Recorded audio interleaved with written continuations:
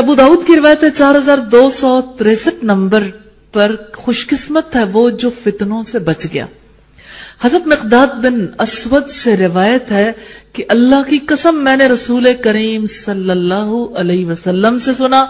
आप फरमाते थे खुश नसीब वो शख्स है जो फितना फसाद से दूर रहा और खुशकिस्मत वही है जो फितने से बचा रहा, जो कि फितनों से दूर रहा। यानी उससे महफूज रहा।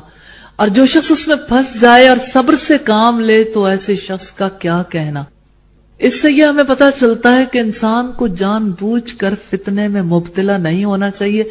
जैसे पिछले हदीस में हमने पढ़ा कि ज़ुबान बंद, कलाम ना करे उस पर और अपने हाथ को भी रोक ले, ताकि फितने से अपने आप को बचा के रखे।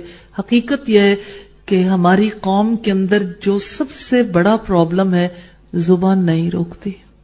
तबसरे बहुत जारी रहते हैं और ज़्यादा तबसरे होने की वजह से कितने ही लोग हैं जो बेगुनाह भी पकड़े जाते हैं और बेगुनाह इस विशेष सर्कल में फंस जाते हैं।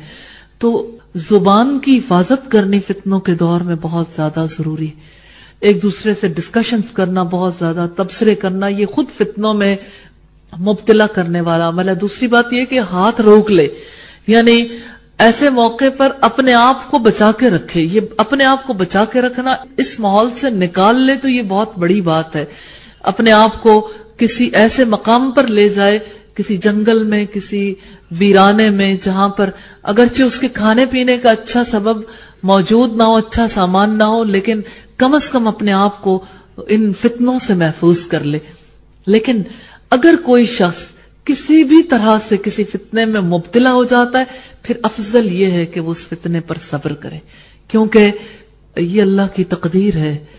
कोई तो ऐसा है जो फितनों से बचा लिया जाता है, लेकिन जो इस लपेट में आ जाए, अल्लाह ताला हम सबको लपेट में आने से बचाए, लेकिन जो लपेट में आ जाए, सब्र से काम ले तो रसुल्ला ने फरमाया ऐसे शख्स का क्या कहना।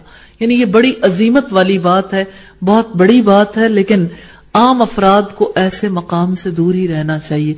क्योंकि आप जानते हैं कि जब एक इंसान किसी फितने की लपेट में आता है तो फितने की लपेट में आने की वजह से एक इंसान के लिए दीन पर कायम रहना मुमकिन नहीं रहता।